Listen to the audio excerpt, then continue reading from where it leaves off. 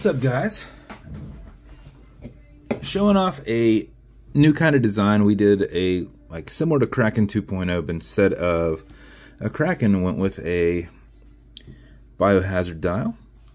We shifted it from where it would normally sit with that Kraken to opposite side. And now with this one, lasered out all your numbers all the way around, lasered out all the accents all the way around, and lasered out the symbol. So what is on my hand? It will not come off. Got it. All right. And then I backside lumed them. So I did some green, I did some orange, I did a little bit of a mix to kind of give it that radioactive feel. Had a set of uh, Mariner style hands that were done in uh, black and orange with your white lume. And they actually looked really good on this. And that brought me into a uh, uh, an anodized um, minute insert in orange, and it is in a bead blasted case with a bead blasted small coin bezel. Did the uh, logo here on the crown, stainless steel movement holder in there, signed rotor, and a low profile exhibition case back. And then I had a uh, I had an orange strap from my buddy Jonathan Gillespie over at Wristbound that went with this so nice. It's just uh, a, a, really good looking leather. So I thought it came together well. Uh, brushed, I'm sorry, not brushed, uh, bead blasted pre-v buckle as well. And then a little bit of the look of the lume on this.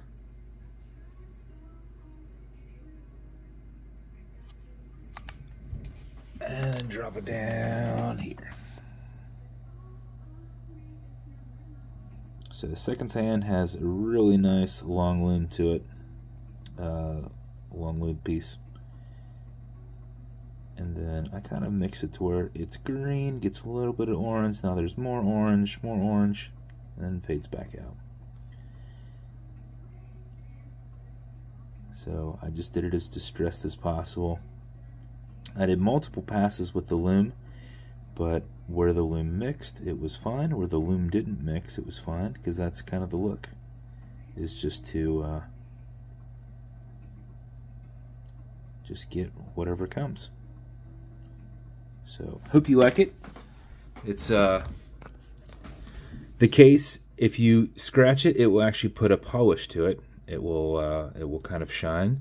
So that just kind of goes with the theme of just, you know, I'm trying to get like a nice clean but distressed look.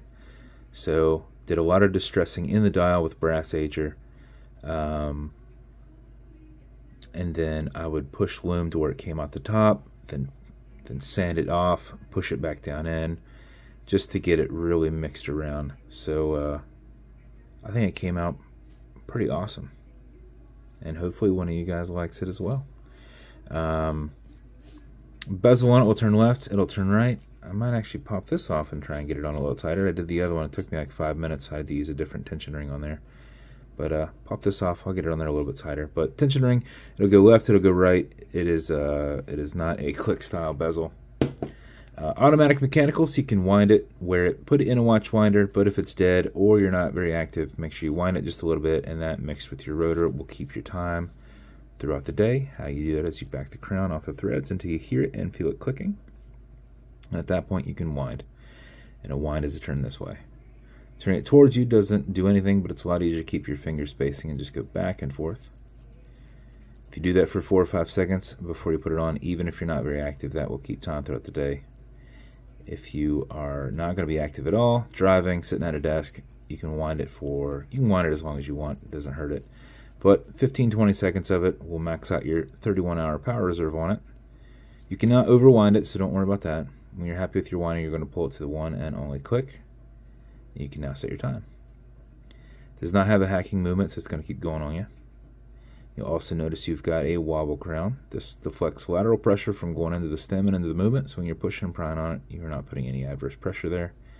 And the clutch system into the crown disengages when it's screwed in, so if you have any crown impact, it doesn't transfer into your keyless works into your movement.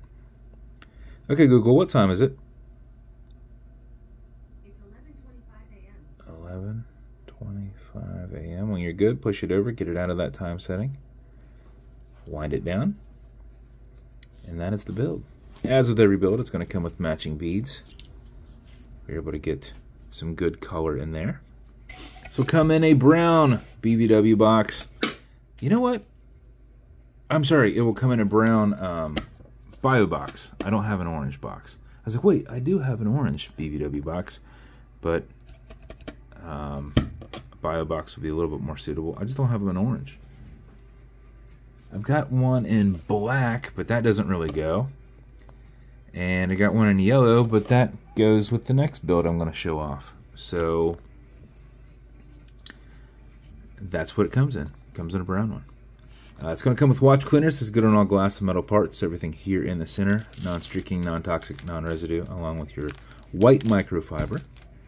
Will also come with leather conditioner to keep that strap perfectly soft. If you ever feel that it's not, apply it on the front and back, let it soak in, use a rag, rub it in, work it in, and it will go back to being soft and pliable. And then lastly, some fine scratch remover from Amazon, just repackaged. It's Novus 2. It's for your acrylic glass.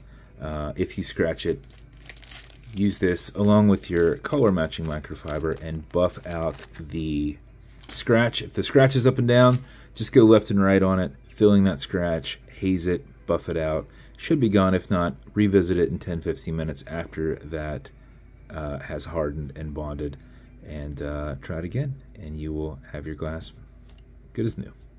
That's the build. Like I said, if it's going to you, congrats. I hope you love it. I think it came out pretty awesome. And uh, if you want to continue to see videos like this, like and subscribe as I put them up all the time. Thanks, guys.